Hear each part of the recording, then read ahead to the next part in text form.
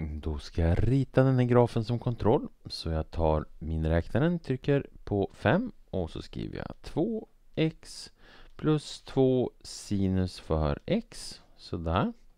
Och så trycker jag Shift och V Window och sedan väljer jag trigonometri minus 9,42 pi till plus 9,42 eller förlåt 9, minus 9,42 till 9,42 så. Eh, och så sen så ritar jag Draw.